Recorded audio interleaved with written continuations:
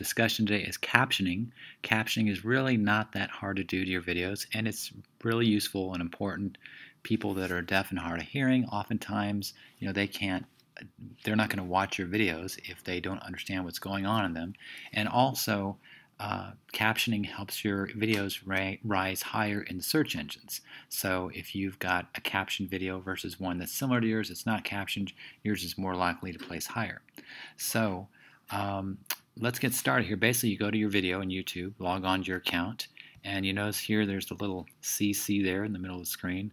I click on CC, and it come up comes um, I have there are some automatic English captions that come up, and I think they show up about a day after you publish your video. And or you can publish your own. I oftentimes choose, you can publish your own by, by clicking on this add new subtitles, but what I like to do is just click on the automatic English, and from there what happens is you have um, all the all the captions that YouTube feels are the correct captions for your video. They're usually oftentimes not all that accurate, um, but you can make edits to those, make some changes, and it's usually a lot easier than just writing all your own captions. But what I'm going to do is click on Edit here, and it says Override Existing Subtitles. Yep, I want to overwrite that. So I click on that, and now my video, all my captions come up for my video. And so I'm going to start to watch the video here and listen to the first set of captions. Hey, what's up? Good to see all of you again. Okay, so that's what it says at first. I'm just going to change this, again, just make a small little edit. Hey, what's up? Put a little question mark.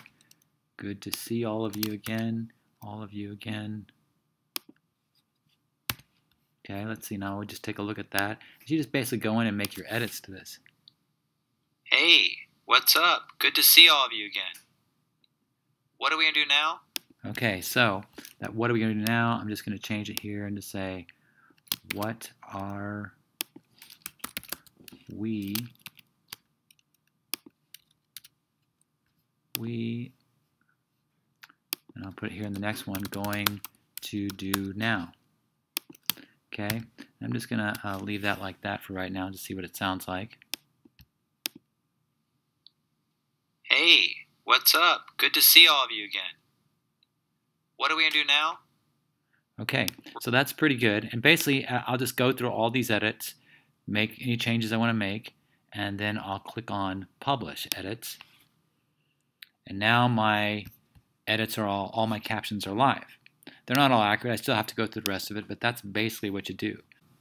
So many times I can't do all the edits at once, and I'll save the program, and after, i after I've saved it, I'll go back in to the video again. I, after saving it, I just go back in and I click on my English captions here, and up pops the captions that I just made as well as all the old ones that I haven't edited yet. And if you notice here at the bottom of the screen here, there's a little, little like little timeline here, and I can, I go to, uh, so I go to Edit to edit more uh, captions,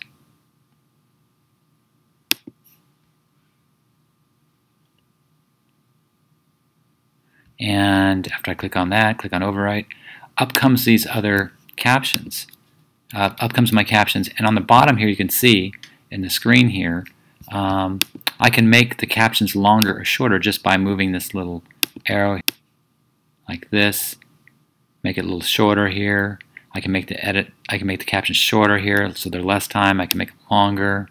I can make this one uh, shorter or longer. So that's another way to make the you can either move these, edit these numbers here, or if I want, I can just go like this and, and uh, move this around here. See how it, it adjusts the start time there. So that's pretty much it. That's after I'm done, I just publish my, my edits and I'm all set. So good luck with captioning. Hope you um, do well with this. And if you have any comments or feedback, leave them on this video. Thank you.